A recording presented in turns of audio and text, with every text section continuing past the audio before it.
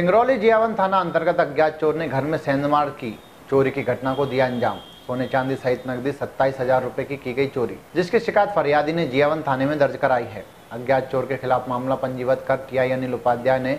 घटना की सूचना एसपी दीपक शुक्ला को अवगत कराया है, जिस पर एसपी श्री शुक्ला ने मामले की विवेचना एवं अज्ञात चोर को तत्काल गिरफ़्तार करने के दिए हैं कड़े निर्देश, जिसमें थाना प्रभारी उपाध्याय ने टीम गठित कर अज्ञात चोर की पतासाजी हेतु अलग अलग क्षेत्रों में टीम रवाना की गई है। कड़ी मशक्कत के बाद पूछताछ कर आरोपी टीम ने ग्राम झोको निवासी आरोपी राजपाल अगरिया को किया गिरफ़्तार। आरोपी बरगवा रेलवे स्टेशन से मुंबई जाने की तैयारी में था। जिसकी तलाशी ली गई तो आरोपी के कब्जे से सोने चांदी के जेवरात सहित सत्ताईस हज़ार रुपए नगद बरामद हुए, जिसे जब्त कर आरोपी को न्यायिक अभिरक्षा में भेज दिया गया है। है?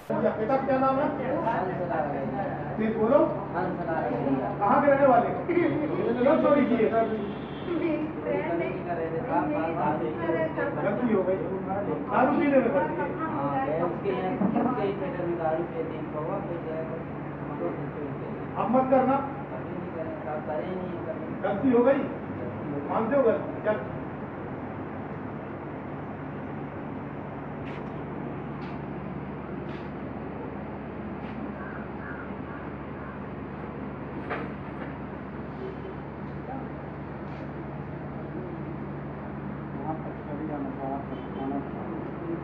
नदी खड़ी हो